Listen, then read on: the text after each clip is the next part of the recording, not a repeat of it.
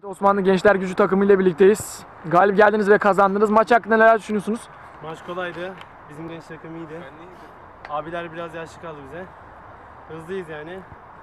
Önümüzdeki maçlara bakacağız. İlerleyen maçlarda başarılar. Eyvallah.